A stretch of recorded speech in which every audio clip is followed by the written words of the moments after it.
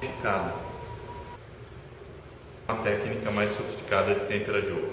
Aparência para poder ver o desenho preliminar. Gosto de uma variação de textura E de poder de cobertura e transparência. Isso cria uma reverberação na obra, né?